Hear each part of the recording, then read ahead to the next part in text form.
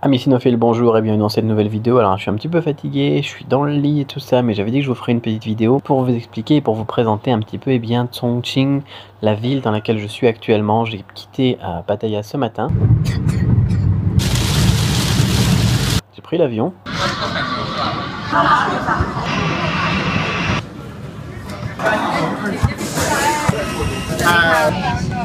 Je suis arrivé à Chongqing.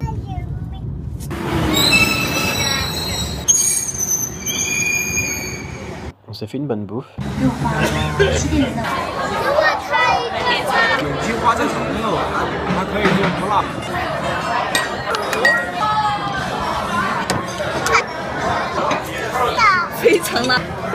Les premières impressions, eh bien, c'est qu'il y a beaucoup de coins qui sont super modernes. La bouffe ici est délicieuse, alors je vais vous emmener avec moi probablement dans les prochains jours, hein, de toute façon. Mais la bouffe ici, c'est vraiment un truc de malade. Pour ceux qui connaissent pas de Songqing, je vous ferai aussi une petite présentation euh, de la ville pour euh, vous faire vite, euh, vite fait une petite idée. c'est une, la métropole de Songqing, je crois que ça fait à peu près 30 ou 33 millions d'habitants. Donc c'est pas rien, c'est assez grand quand même. On est à quelques centaines de kilomètres de Guyang, on va rentrer à Guyang par la route euh, avec la voiture. Donc mon beau-père est là, il est venu ici avec la voiture. Euh, dans 2-3 jours, on va fêter mon anniversaire ici sur place. Donc je vais vous emmener avec moi, euh, vous balader un petit peu comme ça tout simplement, pour vous montrer la ville, vous la faire découvrir en même temps que moi. pour l'instant, les choses qui m'ont surprise, c'est, mis à part le fait qu'il y a beaucoup de monde, on s'habitue vite au calme là où j'étais à Pattaya, parce qu'à Bangkok il y a beaucoup de monde aussi. Mais à Pattaya c'est plutôt calme. Donc ici ouais c'est vivant, ça bouge. Un truc amusant aussi c'est qu'on peut voir parfois le métro rentrer dans les bâtiments. Faut que je trouve une photo de ça à vous mettre en, écran ici. Éventuellement je vous emmènerai aussi euh, donc euh, avec moi si, j'ai l'occasion de prendre le métro rien que pour faire ça, pour euh, me balader dans les bâtiments en métro c'est pas mal. au niveau linguistique, le dialecte ici est vraiment très proche du Goyang-Hua donc que je connais bien.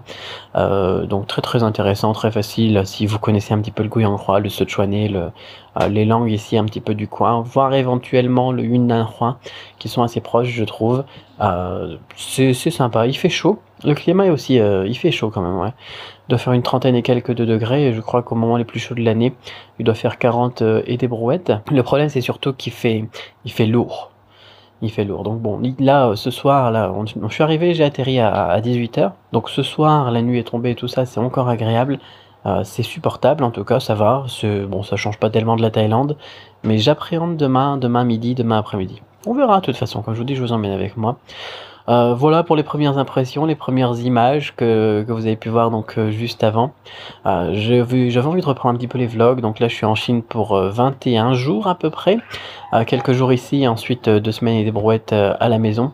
Donc bah, je vais reprendre quelques vidéos bah, en Chine quoi, pour, partager tout ça avec vous. J'espère que ça vous plaît. Euh, dites-moi s'il y a quelque chose qui vous intéresse de spécifique ou si vous connaissez un bon coin aussi à Chongqing euh, ou si vous êtes à Chongqing, faites-moi un petit coucou.